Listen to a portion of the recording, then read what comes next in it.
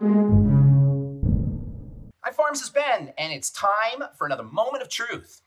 They're among the most poisonous substances in our environment, and while they won't kill you right away, in the long haul, exposure to heavy metals can create major stresses on all the body's organs, weaken the immune system, and ultimately cause or contribute to liver, kidney, and neurological diseases, as well as cancer and shortened longevity.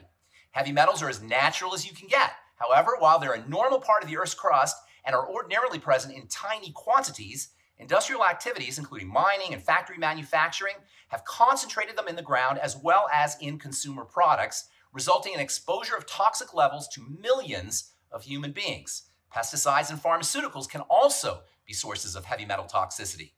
If you're dealing with unexplained symptoms, including headaches, neurological disorders, muscle and joint weakness or pain, and fatigue, and you think you've been exposed to lead, cadmium, mercury, arsenic, or any other heavy metals, blood or urine tests are pretty accurate and simple to obtain. To eliminate heavy metals, support the production of the body's master detox molecule, glutathione, with supplements including glutamine and acetylcysteine and selenium.